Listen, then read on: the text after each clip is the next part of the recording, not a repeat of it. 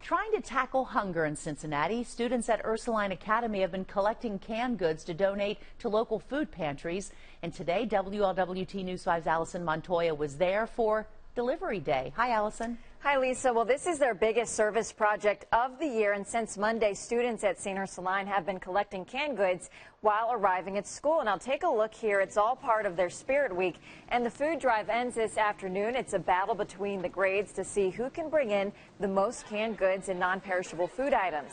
These students have a lofty goal here of collecting 20,000 pounds of food, but they know they can do it. The food is being weighed today and will be taken to Tri-State food pantries next week. The students will find out how much was donated at an assembly on Friday. And head of the event, junior Allison Hogan, says this is her favorite day of the year. And here's more on what's next. Um, the leaders of each grade and a few of their classmates will actually go to each of the pantries and deliver the food and help them sort it.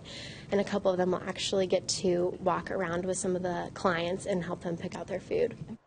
Along with the food donations, these students have also raised more than $1,500, which will also be donated to those local food pantries. And Lisa, it was pretty awesome to see.